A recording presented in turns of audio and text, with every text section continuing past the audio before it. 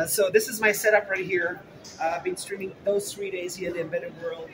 Uh, we're filming right now with the Astro Slide, so you can check out the, the camera quality.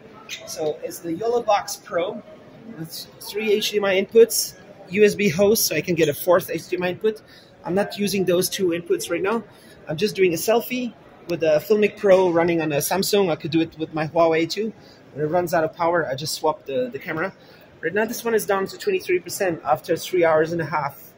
Um, let me go right here so people can actually watch. Uh, so uh, I'm present. Sorry, people in the live chat. I'm, I'm showing what my setup. So uh, there you have it with live chat.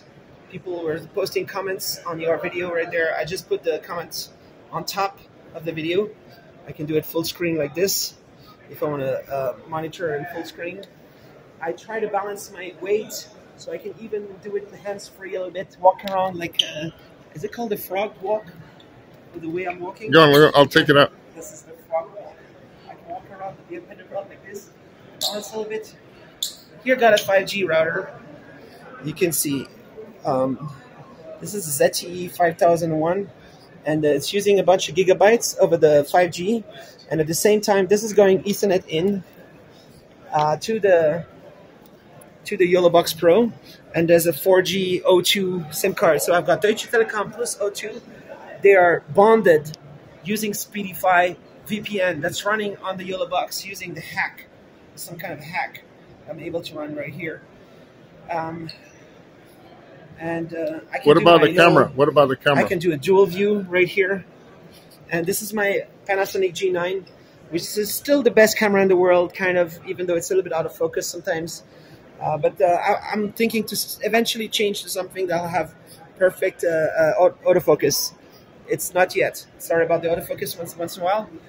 Um, this is the most expensive power bank I ever bought. It's 100 watt, so it's got enough power to give power to the yellow YOLOBox right here. So I can power it up, and there's it shows how much power is being used.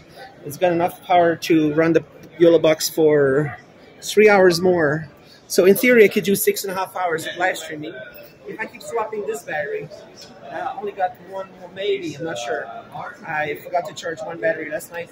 So I'll be swapping over to the dummy battery, which is hanging right here. I have a dummy battery, and that'll go over the power bank to extend the live streaming of the main, main camera too. So I can try to do my targeted five hours per day.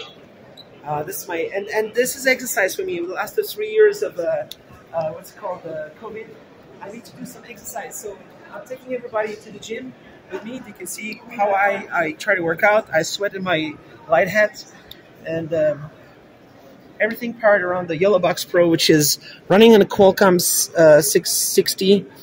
Uh, I don't know how they capture all these. It's so cool.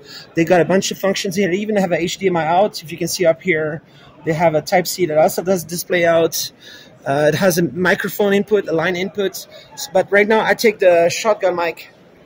I use the shotgun mic uh, because I've had a little bit of interference when I was filming at ST Booth today. I didn't want to have a clipping and stuff because there's so much Bluetooth everywhere in the show. So I got one comment yes on the first day: never use wireless microphone. So I shouldn't do that. I did that in the first two days. 95% of the time it was okay, but then it's always this five percent when a busy booth has Bluetooth and Wi-Fi and uh, everything, and it starts to clip. And uh, so now I'm just doing the shotgun mic. But I like to have a combination of uh, wireless mics and going over to shotgun, back and forward. I'll think about that. Maybe I'll connect the wireless directly here and have a shotgun there and just switch. Because there's a this sound sound mixer. I can choose the audio inputs and I can uh, put people on hold uh, and then they, they, they watch this video right now while I'm on hold, and I put them back. So that's what I've been doing here at the Embedded World. I've been wanting to live stream for a long time, but uh, thinking of the funny way to do it, this is a cool way to do it. Otherwise, I might get Applied Computer Smart Glass as soon as they release them. I'm joking. Uh, that would be but, great. Uh, maybe I'll get the Smart Glass to see the live chat in my face. That's one of the plans I have also. And uh, looking forward to IFA. IFA 2022 is not going to be cancelled. I've decided already. Olaf Scholz told me everything is going to stay open. the rest of the year. Even CES is going to be normal CES, and you won't need to get special um, uh, medical treatment to attend. That's what I've heard. I mean, I'm joking. I have no idea. Uh, I wish I could have gone to to SID Display Week. You went there, and I'm Yep. very jealous. You took a bunch of videos. I should maybe try to see if I can edit something. You can have the them. You can have them, Nicholas. All right.